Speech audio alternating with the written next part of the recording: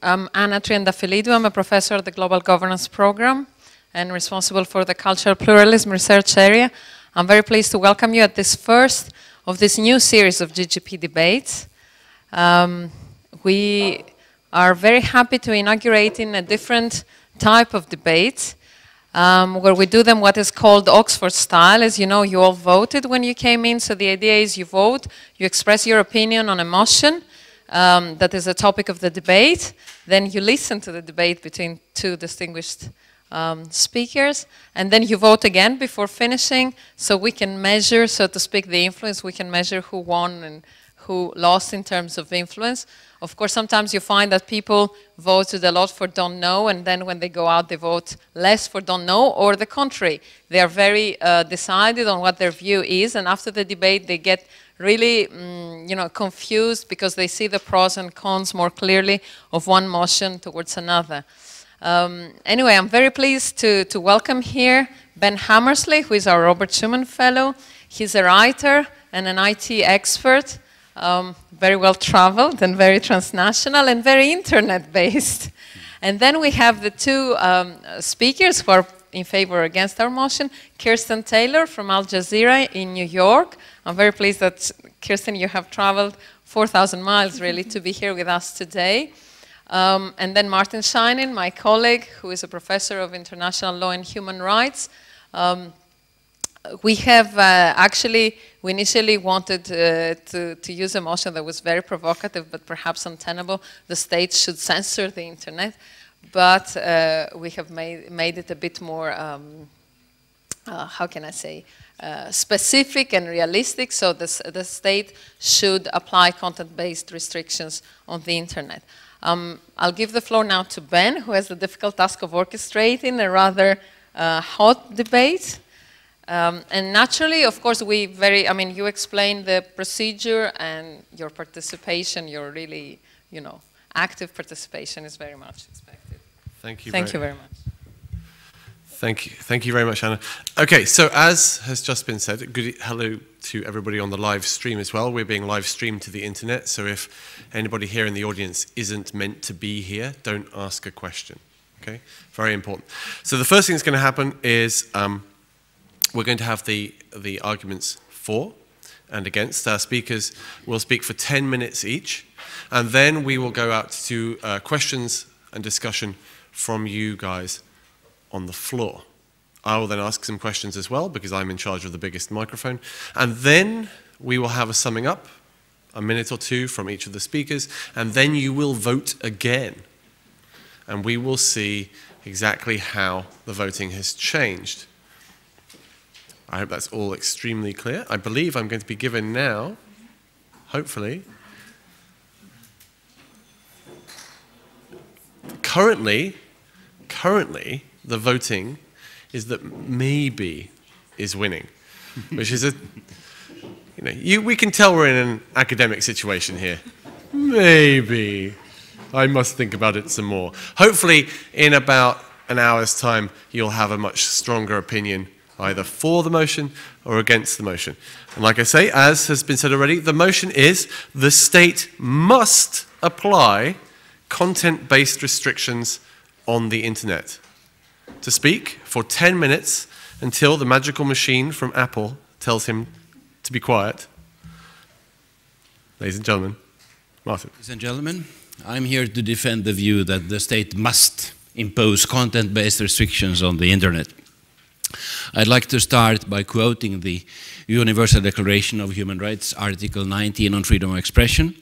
Everyone has the right to freedom of opinion and expression. This right includes freedom to hold opinions without interference and to seek, receive, and impart information and ideas through any media and regardless of frontiers. Later on, as we know, this principle of freedom of expression has been codified into treaty form, the European Convention on Human Rights, Article 10, the International Covenant on Civil and Political Rights, Article 19, and from the Human Rights Treaty provisions, we know that freedom of expression comes with responsibilities, restrictions uh, prescribed by law and necessary in a democratic society are allowed on multiple grounds, including uh, national security or rights of others as two extreme grounds on which limitations of freedom of expression are permissible. Then there's another category of sources of international law that actually say states must impose restrictions on freedom of expression. The Racial Discrimination Convention, the Council of Europe Terrorism Prevention Convention, and United Security Council Resolution 1624 say states must pr prevent and punish uh, incitement to racial discrimination, incitement to uh, hatred and violence, and incitement to terrorism. That said, beyond the permissible limitations and the mandatory restrictions, uh, there is a core area of freedom of expression which must not be subject to any restrictions, not even during a state of emergency. And I suggest that these inviolable dimensions of freedom of expression include first, the prohibition against advanced administrative censorship administrative authorities controlling before publication what is going to be published. That is unacceptable. And that's what I want to contrast with content-based restrictions that are applied ex post facto by the judiciary, uh, invited by the prosecution or a civil party through criminal and civil liability imposed by a court on the basis of content-related restrictions of what is uh, not permissible exercise of freedom of expression. The second dimension of the inviolable core of freedom of expression is the prohibition against confiscation of physical media, again without a lawful order by a court, such as uh, burning of books, confiscation of journals uh, that have been printed but not yet distributed. Thirdly, it's a non-negotiable part of freedom of expression that it must be media neutral, as the Universal Declaration said, through any media. So a state cannot pick and choose according to the media what kind of expression is tolerated and what is not. Uh, it must extend from printed books to broadcast over radio or TV and to the internet. And finally, within the inviolable core, I would also include as freedom of expression is a liberty, is a freedom. You choose yourself what type of expressions you wish to convey political, artistic, religious, even commercial. It's for the author to choose what kind of expression he or she wishes to convey. Now we go to uh, the method of restriction freedom of expression. And I uh, want to refer to the first Freedom of Expression Act, which was enacted in Sweden 1766, but written by a Finnish priest. Finland is my nationality, Anders Chydenius. And in a creative and innovative and ingenious way, that bill uh, that was uh, enacted into law in 1766 protected the inviolable core of freedom of expression as part of the then Swedish Enlightenment. Advanced censorship by administrative authorities was prohibited and replaced by content-based restrictions. You couldn't criticize God and religion, king and the royal family, and the estates of Sweden. That's pretty old fashioned. But the idea was content based limitations instead of administrative censorship to be imposed through courts by uh, criminal prosecution and fines upon those who engaged in intolerable forms of expression. And the second major innovation was the introduction of a chain of responsibility the author was to be held responsible, criminally liable for what he wrote and published, or if the author was anonymous, it was the publisher. And when the material was imported, it was the importer or the bookshop. So always there was a, a chain of responsibility. Somebody was held to account on the basis of the content of the printed material. In subsequent centuries, this model was then gradually adopted in the laws of many countries. And in the 1950s, when we got radio and television, it was introduced also to broadcasting in the sense that each program has a responsible editor who is, if necessary, taken to court and punished for expressions that violate the regulated content-based limits. What's the challenge today is that this model of a chain of liability is inadequate uh, in respect of modern forms of global electronic communication. There is no regulated chain of responsibility allowing for ex post facto content based liability. There is a general sense of lawlessness or a legal vacuum in relation to expressions, expressions uh, conveyed uh, via the internet. And that has created a huge market for bad faith responses by government. One response is going after the user, the reader, penalizing those who utilize the resources available on the internet, for instance, for mere possession of uh, prohibited materials. Another is invasive, massive electronic surveillance, resulting in total disregard of the right to privacy, and both a chilling effect and outright violations of freedom of expression, as we see in the United Kingdom as we speak at this very moment. Uh, my view is that there should be an internationally agreed or harmonized understanding of the permissible limits of expression also over the internet. And if there's sufficiently wide international consensus on the basis of the racial discrimination convention and the prohibition of incitement to terrorism then we can trust each country each state to impose the uh, restrictions through court procedures in the country of origin, in the country where the posting on the internet happened. And therefore, we don't have to go after the uh, fiber optic cables or the users. It's sufficient to hold to account the author, or if, if the author was anonymous, the person who posted on the internet the offending material. And again, content-based restrictions is the proper answer instead of going after a media or going uh, back to the days of censorship by administrative authorities or confiscation of physical material such as hard disks, as is done by the UK today. Thank you very much. Thank you. One minute 45 remaining. Okay. Will he regret having that extra time to make his point when faced with our speaker against the motion? Ladies and gentlemen, Kristen Taylor. Thank you. Hello, Internet. Um, so, so two big things that I want to talk about. Um, one is that there's really a lack of sophistication um, when any sort of content filtering is, is applied right now online. And the second is the importance of an informed citizenry. Um, so I'll come back to both of those points. Um, we have this expression online and we talk about the ban hammer no relation to this gentleman sitting next to me. Uh, but the ban hammer being something that is a tool that a moderator online would be able to use um, when someone has done something with malicious intent um, or is trolling in some way, um, you're able to use the ban hammer, but it's done judiciously. Um, and, and part of what I think is so, so harmful about this idea is the fact that it's often uh, online never done judiciously, but done in a very, very broad and sweeping way. Um, in Pakistan lately, um, the, uh, the Shia and the Sunni on November 15th and 22nd um, have had a number of clashes, and the government is blaming social media for those.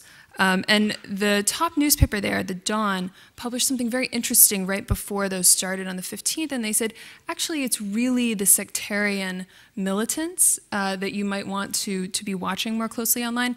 Um, because in, in this sense, they were sort of the trolls, right? So there often isn't a level of nuance.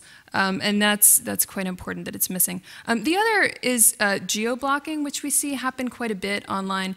Um, and geo-blocking does not account for populations that move. Um, it says that instead of doing something where you might be able to be a subscriber to information and you would be able to carry that information with you, instead it's just going to block out from a geospatial perspective. And that also is, uh, feels uh, not interesting um, and, and really sort of behind in, in many ways. And that, that's how both are, are implemented. Um, Tunisia has a new, uh, a new privacy um, agency. It's called A2T. Um, it replaces the ATI. Um, and what they've done is they've just sort of set it up by decree. Uh, with no, no input from the citizens. Um, and then they've decided that they're going to have a follow up committee. And the same person who runs the A2T is running the follow up committee. Um, so it's sort of interesting to watch how uh, we've gone back in history, but now in the current moment, um, when we see these surveillance uh, agencies begin to be set up, how they're often not done in any way that takes into account what the citizenry uh, might be thinking about or concerned about. So, so they're always sort of based on fear uh, which is a problem. Um, so I want to talk a little bit about steganography, one of my favorite words. Um, and the classic definition of steganography um, is this idea that you have a bald soldier and you tattoo something on the soldier's head, and then the hair grows in and they take off with the message for the next town. So the difference between steganography and cryptography is that with crypto cryptography, you realize that it's a message and that it's encrypted, but with steganography, you don't know that it's actually a message, right? Um, unless you shave that guy's head and you know to do that. Um, so what we see online is this idea that all of us have an audience um, and that we're all doing social steganography all of the time. Um, and part of the reasons that, that we're doing it is to get around things like content-based filtering. So Sina Weibo, uh, which is China's Twitter, has 500 register million registered users and about 54 million users every day. Um, and as far as uh, really developed and sophisticated and sort of nuanced way of content filtering, um, they're sort of it. Um, and they're in fact so good at it that everyone realizes that there are many ways to go back and sort of collect the information that's been censored. Um, so one way is with something that's called the Weibo scope. Um, and that creates a backup of all the information that was deleted during a given day on the service. Um, so then that becomes available. It's a searchable archive, which is quite important um, to go back. Um, there's something called the 50 cent party. Uh, and these are that, that's how the government employees, hundreds of thousands of them, are referred to, who in fact go in and post fake comments and things, um, so that the pro-government side will ultimately win. Um, they're, they're, a little bit schizophrenic. Um, and then we have something that's developed called long Weibo, right? Um, so Weibo, like Twitter, only has 140 characters. But since it's in Chinese, every character could be a word. Uh, some people don't feel that that's quite long enough, um, so they have these programs that compress the text into an image. So you can have larger than 140 characters and you post that image. Once the image is up, then that information is traveling outside of the filters. Um, so those are ways that people are getting around Weibo. Um, and ProPublica has a, has a wonderful new project called the Memory Hole, um, where they're actually going in and looking at all of these different types of censored images and they're trying to categorize them. Um, and what's very interesting about that, of course, is that even this very sophisticated content filtering mechanism and machine and algorithm um, has so much attention drawn to it that all of the censored material, in fact, has a second wave of attention, right? It has an even longer life than it might have in the most ephemeral form that it was in. Um, and maybe later we can get into some other examples of this. Um, I'd like to talk a little bit about things that are meant to degrade instantly like Snapchat, um, and then also about networks that, uh, that you can create the content in and then also post it, right? So filtering within the network itself. Um, another thing that happens uh, on the internet in China uh, is that there are zombie armies of accounts that spring up, um, and what they do is something called hashtag jacking right?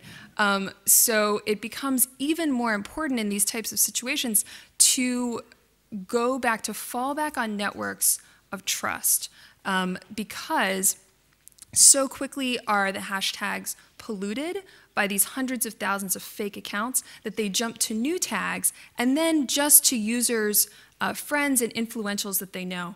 Um, but what also happens with this content filtering mechanism is that uh, the government is looking especially at influential Twitter users, so people with above uh, 10 or 50,000 followers. Um, and in fact, they're ignoring things that happen at the grassroots level.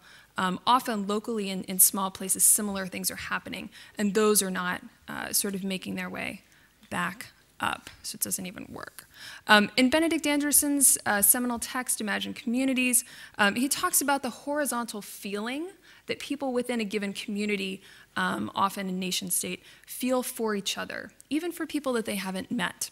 Um, and so when we think about these shared experiences that all of us have now, uh, the idea that all of us would be struggling against a content filtering mechanism is another way that might bond us together, in fact, um, even more tightly than we might otherwise be bonded, uh, because we're suffering through something similar together content filtering.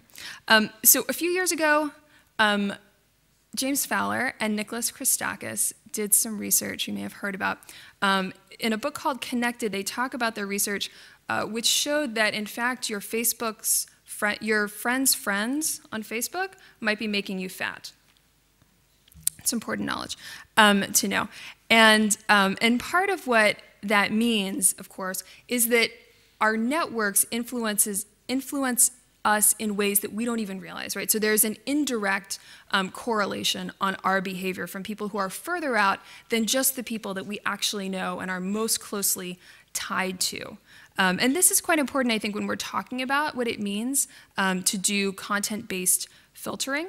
Um, because part of the things that are influencing us are things that we might not even be seeing, but our friends are, right? And, and their friends are seeing. It doesn't work once you get about four um, four layers out in the onion. Um, something else that they talk about, and, and we can talk about this later, is the self-annealing behavior within networks, which means that actually a network can heal itself. Um, and this is another reason why content-based filtering um, ultimately sort of falls down, is because within a network, it's like a bucket brigade, and if somebody falls out, the network just heals around that, and it keeps going, and it keeps passing the information. Um, so the other way to look, so the alternative, how much time do I have? Okay. Um, so one of the alternatives to content-based restrictions is this idea of collaborative filtering.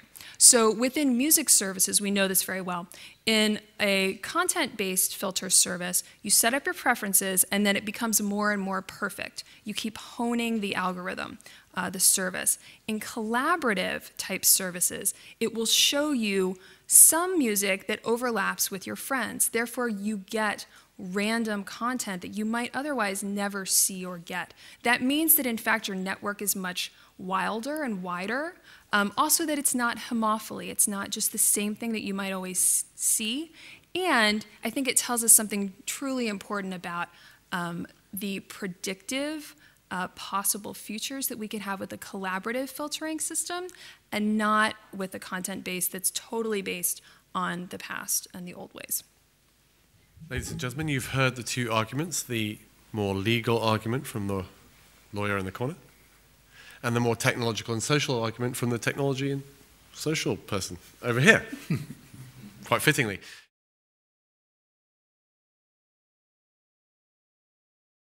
one question to Professor Scheinin.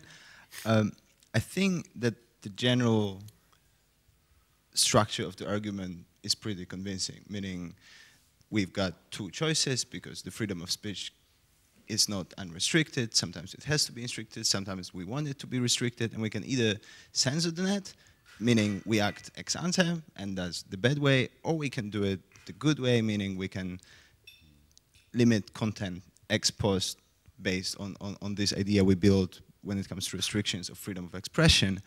And thanks to that, because the chain of liability is already outdated, we can punish the reader, uh, not, not the reader, but we can punish the author or the person who posted it.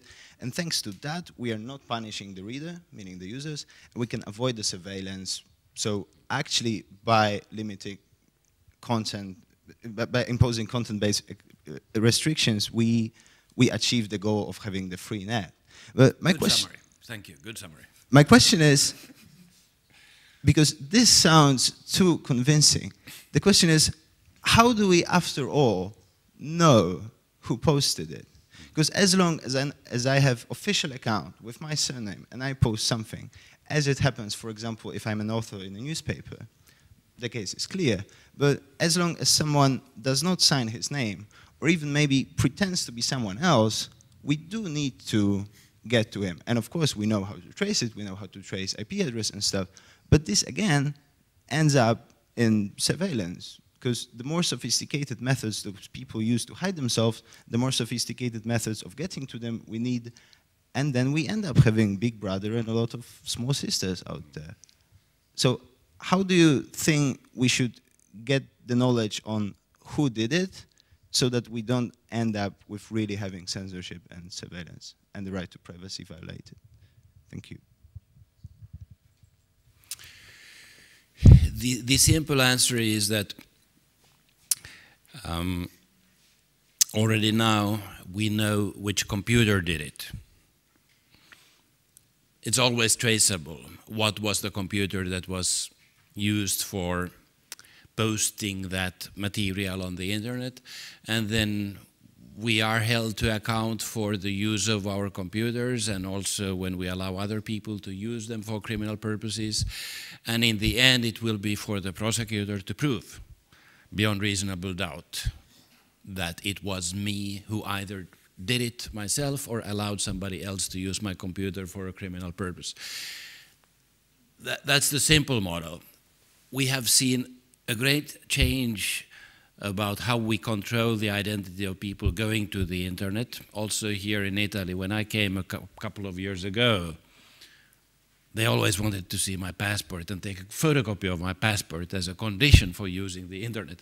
Now we have got rid of that so that it's simply the fact that the computer is traceable, that which is generally sufficient for um, making sure that in the extreme case of criminal prosecution, you will find the person who did it. It's not 100% safe, but it's not either 100% safe in the traditional field, field of printed material because, of course, you can have uh, secretly printed publications and you would need the same methods of crime investigation to find out where it, where it was printed and by whom. So it's, it's, it's not a categorical difference compared to traditional means of expression. It's just a technological evolution. As the chairman, I'm, it's not my uh, privilege to, to give an opinion on anything here, but I must ask you a technical question. What you just said is not true at all, is it? Technically speaking, I mean, I could show you, as could any 13 year old, an infinite number of ways of posting anonymously to the internet that, that mean that it's untraceable. The US uh, Navy invented a thing called Tor, which is untraceable and is freely available to anybody. Um, everybody here is using a v EUI VPN, which means that anything that they post from anywhere in the world looks as if it came from the EUI, but VPNs are freely available, and that destroys that. Uh, you have encryption. You also have um, public uh, publication systems which are specifically designed to be anonymous in the first place. So, what you just said, uh, uh and again, not to give an opinion, but what you just said is entirely wrong. It's not entirely wrong. That's extreme. Well, it, it's it's wrong enough I'm, I'm, to I'm make your point invalid. No, which is wrong enough. It's it's wrong enough to pose a challenge to the prosecutor to prove his case. Okay in that case. Uh, do we have another question specifically for Chris? That's Kristen. Would you care to come in on that point? Well, I mean, yes. It, you know, of, of course, everyone's posting anonymously all of the time, um, and and also most people have multiple accounts on various services. So, um, you know, mobile data is uh, you know infamously insecure at the moment, um, but you know, some of the things, and I, I sort of alluded to this, um, some of the newest services are, are, are, meant to degrade instantly, right? You send someone a Snapchat, and once that one to one communication has happened, then the, the thing is gone. The content has disappeared, and that's the whole purpose of the thing itself, right? Um, and you find out if someone has taken a screenshot of that content when it's happened. Um, so, so in fact, you, you want it to disappear just as you might disappear in, in any service. So, um, yes, so. Anna at the back there. Um, I have a question actually, to, a bit more to Kirsten, but actually to both. I want to ask you to get the, the debate a level lower, closer to reality. Too much technological sophistication, too much legal expertise. Um, I want to give an example. Uh, you probably remember in 2006 the whole controversy about the Muhammad cartoons published in a Danish newspaper that were particularly offending of um, Muslim uh, people. Now, on that case, the cartoons were published in a newspaper, and actually, although today you can find them on the internet, their uh, diffusion was, not, uh, was neither immediate nor automatic because they were on paper. Um, there was a big debate about it, there was even social unrest, there was conflict, there were problems in diplomatic relations, and then there were newspapers with differing views across Europe. Some republished the cartoons and others didn't. Um, and some actually uh, did not republish. Um, interestingly, most um, I think in Britain, no newspaper, no, no, newspaper published the cartoons because they said this is exactly a proof of our responsibility. It's not a matter of not expressing my opinion about Muslims or about Muhammad. It's a matter of expressing it in a way that is not offensive to people's religious beliefs. And we know that religious beliefs are beyond rationality. So it's not a question of whether it is right or wrong, false or true. So the question for me is, I give this example is, what is more precious for us? For me, it's not about sanctioning the author who designed the cartoons, who wrote something offensive about the Roma, the Muslims, or indeed the Greeks. I'm Greek. The question is, what is more important?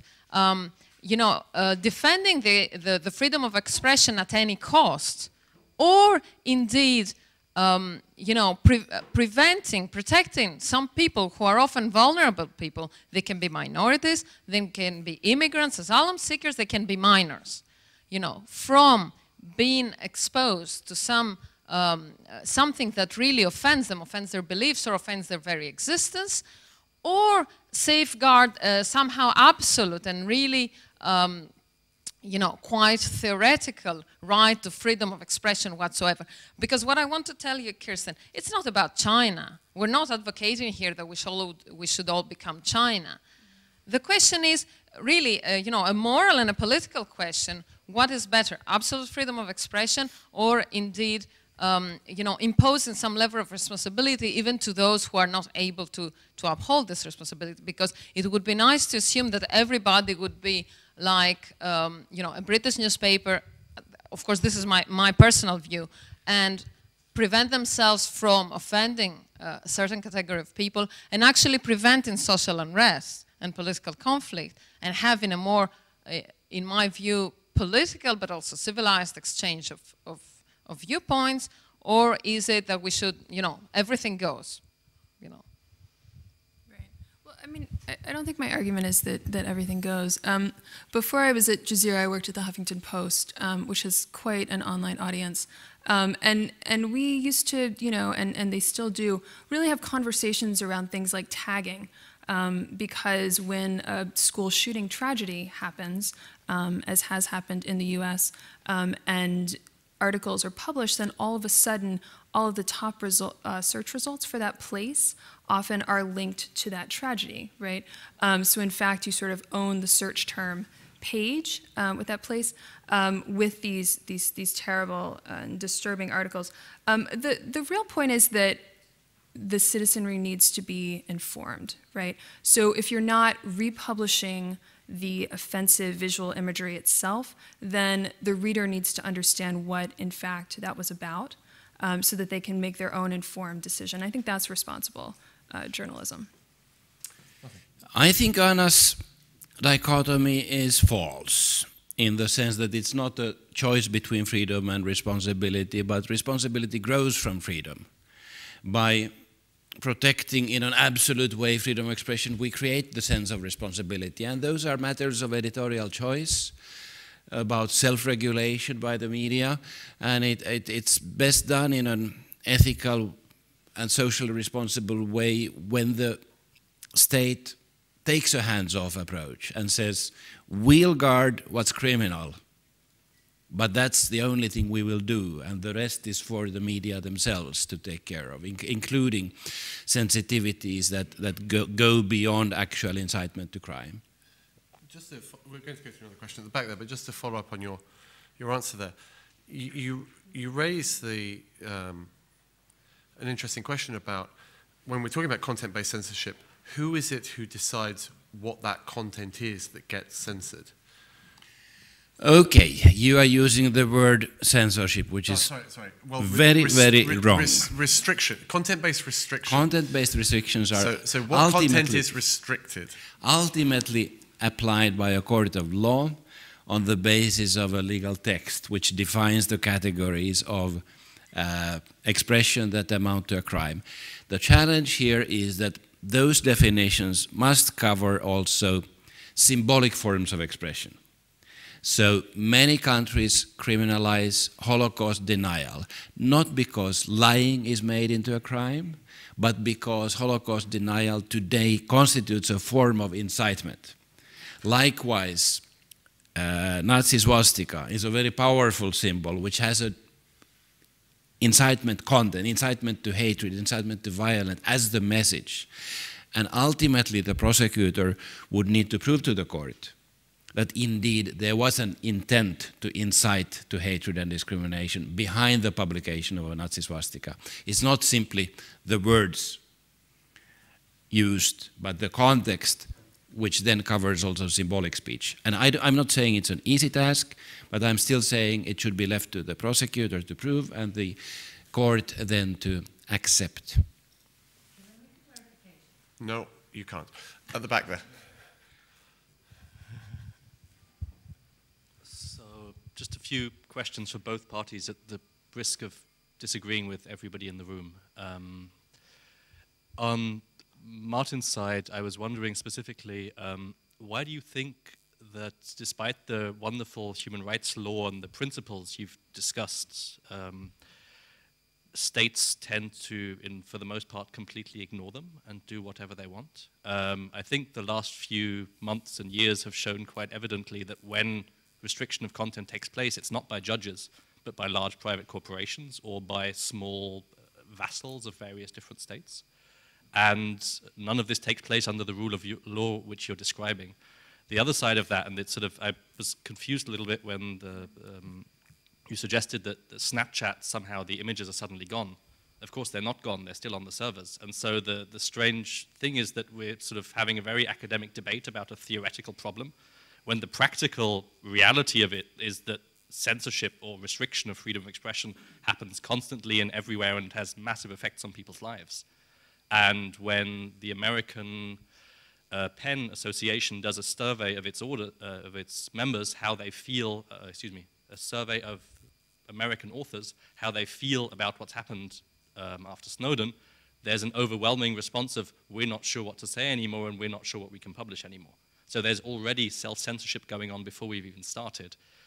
How do you, do you feel that this is somehow, in a context of a black and white debate, as states, do states actually care about freedom of expression and substantive content? Because they don't seem to act that way. And vice versa on the other side, how do you feel that the, the actual day-to-day -day surveillance impacts people's freedom of expression beyond the specific sort of, it might be there or it might suddenly be dis disappearing? Okay, let's start with Martin first. Well, the question was why. And I think there are multiple explanations. One of them is that technology, technological development take us by surprise. We regulated the chain of responsibility for printed material. We did it for broadcasting over a limited range of radio waves, but we forgot to do it, or we were not able to do it for the internet. It just caught us by surprise, and hence there is no clear chain of responsibility whom, whom to take to court. And that has been sensed by a legal vacuum uh, by governments, and then the intelligence agencies have filled that vacuum by their own self-made law, which is partly based on a state within the state mentality, uh, which actually is disrespect for the existing framework of the law. Another uh, explanation is even though the uh, Universal Declaration says any media I think many states would take the position that internet is not a medium in the meaning of the Universal Declaration, that it doesn't cover the new forms of expression. It simply relates to um, books, periodicals, printed materials, and broadcasting, but not to internet. And thirdly, many states, including the US and the UK, take wrongly the view that anything that crosses our national border or happens outside our borders is free game for anything we want to do. It will not be an intrusion into human rights if we simply intercept the fiber optic cable which goes under the British Channel across UK and France. And they are wrong. they are wrong about the universal nature of human rights and their obligations in relation to each and every person, irrespective of location or nationality. But it's an uphill battle, I can tell you. Uh, yes. So um, right. So as you you know point out, um, the Snapchat content does live on a server, right? Um, and that group is, is based in Venice Beach, California. Um, let's hope that the servers aren't near their party house. Um, but you know, but part of that really the interesting bit is that it's a user behavior, right? And that's why I was talking about social steganography. Um, we, we've now developed an entire system because all of us have this recognition that, that we all have audiences, and those audiences, those, those multiple mediated publics, are talking to each other, um, and those will exist sort of over time. So we, in fact, filter ourselves in some ways, um, but I actually think that we do a better job, um, and, and actually what uh, should be adopted is this collaborative uh, filtering model if we're going to do it at all, um, because it, it means that, in fact, we won't just become so internal and so focused on our own little circles and on really kind of compressing it um, until it has very little meaning anymore and until nothing um, can escape this vacuum that we've put it in.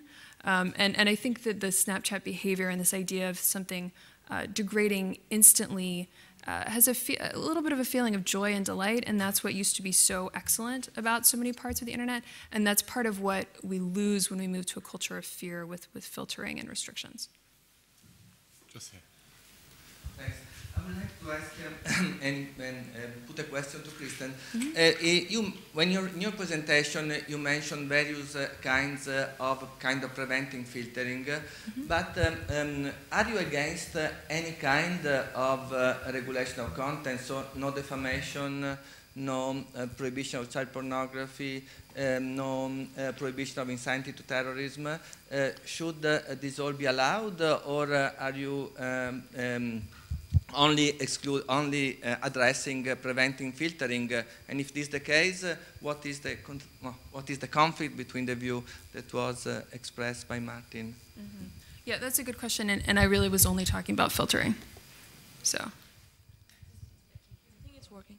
So I wanted to emphasize the cross jurisdictional dimension of this uh, question of this uh, debate, and probably the question is directed to Professor Scheinin mostly because it's a it's a legal, uh, it's the, the, the the practical problems that um, uh, even an attempt to to to regulate, as you su have suggested, is jurisdiction. First of all, uh, free speech, freedom of expression is not uh, thought of with the same uh, lawyers from different jurisdictions think of free speech really, really differently. And the, the example that you, you posed with Nazi memorabilia and um, Holocaust denial, uh, uh, what is legal and what is criminal changes while you, you cross borders. So um, bringing, knowing that internet is a cross-jurisdictional medium by nature, how do you reconcile that and how do you think that it's practical to bring in um, in an international convention that you might think of uh, to, to, to, to reach a consensus on what restrictions we place? Well, we have the minimum consensus in the form of the Racial Discrimination Convention and Article 20 of the Covenant on Civil and Political Rights, which is basically incitement to violence and hatred against other persons, and then we can add incitement to terrorism. And nationally, you can then apply different um, intermediate steps that may create a presumption. Let's say Holocaust denial in France is taken as a form of incitement to violence. But still, in order to meet the universal test, the prosecutor need to, need, would need to prove that there was an intent to incite to hatred and violence, and not simply um, an intent to distribute lies about history. I don't think it is a perfect model, but I'm defending that there is a universal content of freedom of expression, and it would be possible to harmonize national laws on the basis of the existing universal standards of what kind of expression should be prohibited. And that's a very small range of exceptions. Alex at the back there. Uh, just a very brief question to, to all of you. What is cloud computing doing to all of that? freedom of speech has its boundaries and they're dissolving more and more, but technology has also its boundaries, dissolving more and more. You can cut cables under the ocean, but you can shoot at clouds, more difficult. So I, I'm wondering to what extent technology not as advanced too much to even have that debate. Kristen. Right. Um, yeah, I mean, what's really interesting when we think about how content moves um, is is really the fact that so many spaces online are shared. So, uh, you know, just to, to use a very common um, uh, file sharing service, you know, Dropbox folders are often shared between collaborators, you know, up to 10 to 20 people um, from everywhere in the world. So if you were to try and restrict the content that was moving in and out of it, um, everyone, you can set different levels um, of, of admin privileges within that, but, but everyone could be moving the content in and out almost at the same time, the way we used to do uh, with wikis, actually. Um, and um, and everyone's in a different geographic place in the world. And I think it would be very, very hard to regulate that effectively um, because we don't think of something like a, a, cloud computing file sharing service as having any kind of an edit log. Um, no one says, you know, everybody might be on chat in another screen on their browsers, you know, somewhere else, their computer, saying like, I'm going to go grab those files and take them out and do whatever with them um, on your personal server. Uh, but the record isn't in there in the same way, um, being visible to the user. And I, I, think that's really key to how we, we think about these shared spaces online, in that we don't see the ownership. Um, and, and, especially, I mean, this gets back to, to what we were talking about with um, the, the anonymous user um, or the pseudonymous user, right? So, um, so really, like, it's not really about you owning the content. It's much more about the information finding its way to the right person, uh, which is what the internet is really good at is delivering packets of information um, and sort of removing the ego from it and literally your avatar from it uh, means that we have more of a, an idea of what we could do in the future when in fact it's about how to get the thing to the place and not who got it there or how it got there right? And removing it in, in the timely manner as well. Yeah. well my simple answer is the responsibility of the originator. There are thousands of traffic offenses committed in Italy on a daily basis, and people are never caught of them. But still, there's a risk that one day you will get caught of speeding. The same thing with the internet. The originator is responsible for the content if it crosses the boundaries of criminal law. Question at the beginning, uh, front here. Thank you. Um, so uh, the poison is not that far away from the medicine and of course, democracy should be lived in a safe net. Of course, we can't guarantee the implementation of uh, and guaranteeing of human rights without um, a sec security, without a security so agenda. And especially now in the post-ACTA period of our times, uh, this agreement that EU had signed, uh, fortunately, the civil society decided that we don't want it. So um, what, what should be the limits of these restrictions of the freedom? And actually, how can we guarantee that social control will not make people unhappy? That's my, that's my question. Thank you. Two questions then. What are the limits? How can we stop people being unhappy because of them? I don't think we can and should stop people from being unhappy. That's. Spoken like a law professor. Uh, and as to the first one, I think I have already answered. The limits are narrow. They are based on the criminalization of certain content, and the rest should be free. Yeah, I mean, I, I think I would just go back to this this idea of um, of how they're setting up the new surveillance agency in Tunisia, um, where it's being done by decree. Um, the citizenry does not feel involved in any way. Um, so already there are all sorts of questions as to how they might try to regulate. Um, and even putting someone on that follow-up committee that they've done um, to watch the watchers, as we say, um, really isn't quite enough. Um, so, so I think that that really most uh, most state agencies aren't thinking about this in a, in a very nuanced way at all. Um, and there's so many different types of users, and we all use all of these services differently. Um, and none of the, the current legislation reflects that level of sophistication. You have two more questions between you to make your final cases, then we'll do the summing up, and then, actually, we'll do two questions, and then the summing up, and whilst the summing up is happening, we'll have the, the voting. Another question here at the front. And then, and then we're going to go over. I really, I really can't understand how you, you, you define the human right. So as you define it, it's, there is a core value of the human right, and there is also another part of the human right that we don't care about. We, we can't protect it. This is what, this is what I, I, I understand. And also, um, I would like to hear from you what these restrictions, these limits are, because I, I, I do not know. I haven't read them. Mm -hmm. That's why. So what are the limits? How the government cannot criminalize every action of my everyday life or my internet-based uh, action. Yeah, thank you. Yes, I defend the view that a human right has an inviolable core, and what's around that core is not something we don't care about. It's an area where we think that permissible limitations are possible and they must be necessary in a democratic society, they must be prescribed by law, and they may, must meet the test of proportionality. So they must not defeat the right itself. So we do care of that other, area as well. But the core, in the case of freedom of expression, is partly institutional, that I see it as the prohibition against advanced censorship by administrative authorities and instead choosing the model of imposing content-based restrictions through prosecution and criminal punishment. So I'm willing to pay that price of a possibility of a criminal punishment.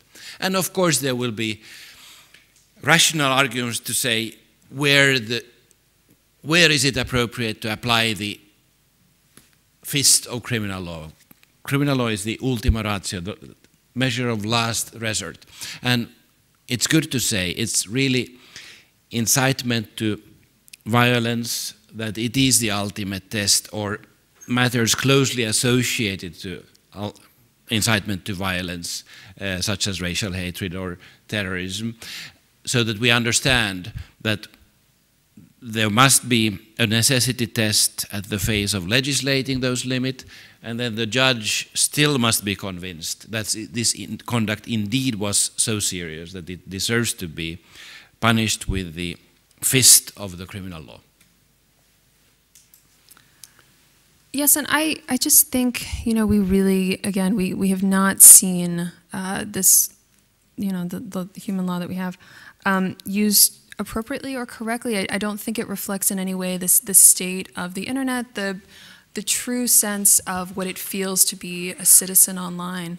Um, and you know, and therefore, you know, implementing it at all means that it's it's horribly behind, and it's legislating past behavior in a way that, that does not account for any sort of a future that that's optimistic um, or hopeful. Uh, we have one minute remaining for both of you to make your closing statements. Martin. Well, the internet is a new medium it's a widespread universal medium which connects people across continents, across national borders, against class divisions of society. And it's the most democratic medium. We have got rid of the dictatorship of the editor and the publisher. This means that self-regulation doesn't really work. And the uh, appeal to journalistic responsibility doesn't really work. I think we have to be willing to pay for that price and still protect freedom of the internet against intrusions such as massive surveillance and content-based filtering and instead apply the traditional appro approach of not only defined content-based limitations prescribed in the criminal law and applied through the criminal law process. I hope this will help in educating a new generation of global citizens who will be responsible also when using the internet, we can't trust anybody else. Kristen Taylor. So we, we've seen how, how poorly um, the governments and state agencies have been uh, using uh, this legislation um, so far and, and really thinking about how to involve the citizenries uh, globally around um, content uh, filtering. I think that collaborative filtering is, is a much better way to think about what this is. And, and also that, in fact, um, with everything that's happened uh, this year, all of us are self-regulating um, all of the time. Um, it's easier than ever to uh, to monitor our own data. Um, even quantified self movement does this, um, but truly thinking about um, how much we we no longer uh, participate in publicly or share publicly and how locked down uh, many of us are online tells us how, in fact, we are doing our own regulation already, and we, in fact, don't need um, any external uh, uh filtering. Thank you very much, both of our speakers. Thank you all for your questions. As we speak, democracy is happening behind you. The monitors are in place. The men with blue berets are watching with guns drawn as the voting is being counted. The tension in the room is incredibly high.